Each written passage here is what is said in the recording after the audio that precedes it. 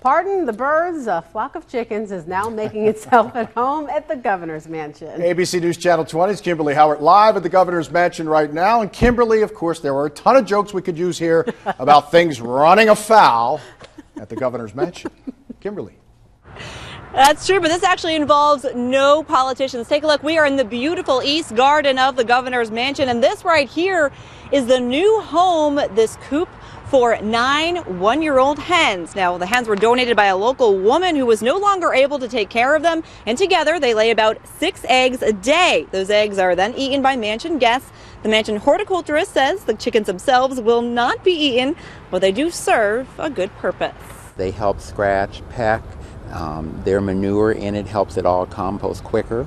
And so there are composting aids um, we're also doing it so people are more aware of local food, where their food comes from, freshness.